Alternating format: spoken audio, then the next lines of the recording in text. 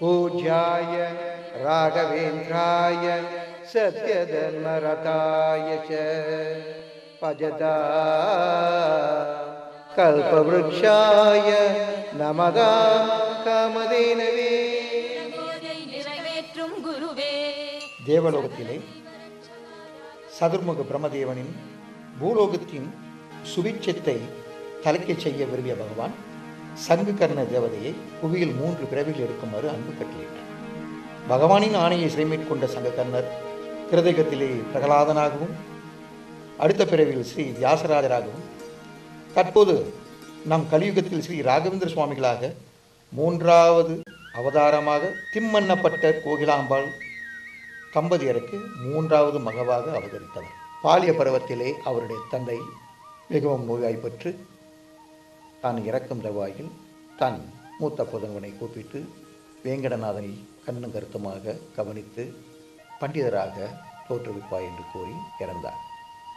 அதேபோல் குருராஜன் தன் தந்தையின் வார்த்தையை செவிமடுத்து தன்னுடைய தம்பியை சீராட்டி பாராட்டி வளர்த்து ஏழு வயதிலே அவருக்கு உபநயனம் செய்து தான் கற்ற கல்வி வேலைகள் வேள்விகளை எல்லாம் அவருக்கு கற்றுக் கொடுத்து பிறகு அவரை மதுரைக்கு அனுப்பி தமது அக்காவின் கணவரான லட்சுமி நரசிம்மச்சாரியிடம் மத்வம் நான்கு வேதம் சாஸ்திரங்களை எல்லாம் கற்று உணர அவரிடம் அனுப்பி வைத்தார்.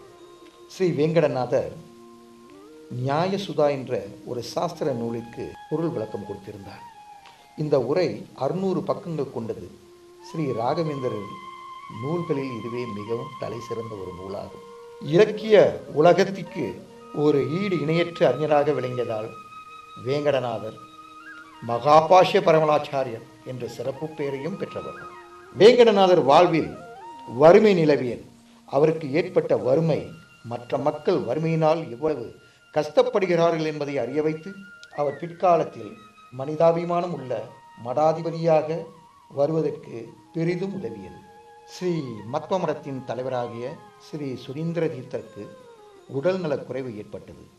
நன்கு யோசித்த பிறகு அவர் வேங்கடநாதரை துறவரம் பெற்று மடாதிபதியாவதற்கு முற்றிலும் தகுதி வாய்ந்தவர் என்றும் அதற்காகவே அவர் அவதரித்தவர் என்றும் உணர்ந்தார்.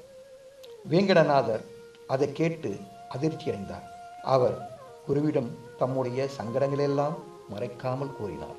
ஒரு நாள் அவரது கனவில் தேவி சரஸ்வதி தோன்றி வேங்கடநாதா மடத்தின் தலைமை பொறுப்பை ஏற்றுக்கொள். ஏனெனில் நீ ஞானிகளுக்கெல்லாம் சக்கரவர்த்தியாக விளங்குவாய் என்று கூறி ஆசிர்வதித்து மறைந்தார்.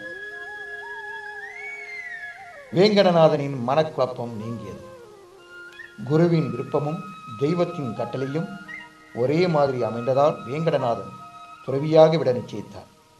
மனைவியும் மகனையும் தன் அண்ணன் குருராஜ பொறுப்பில் விட்டு குழந்தையிலிருந்து தஞ்சைக்கு திரும்பினார்.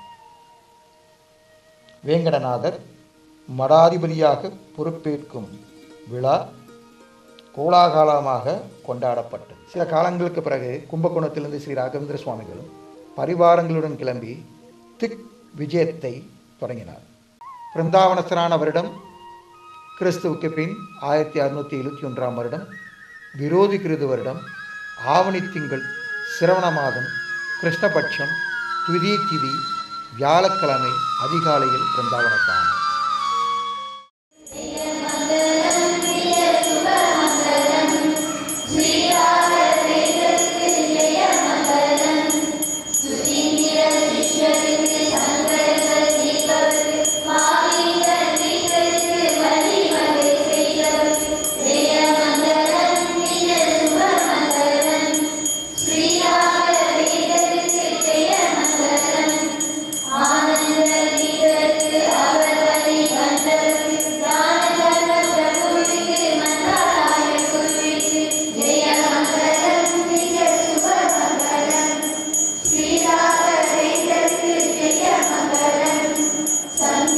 de